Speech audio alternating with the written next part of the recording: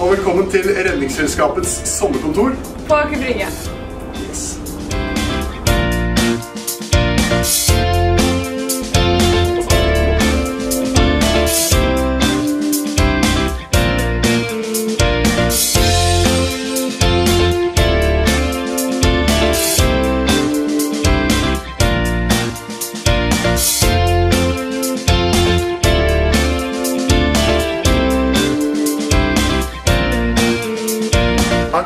For en hyggelig prat og en eh, kopp kaffe.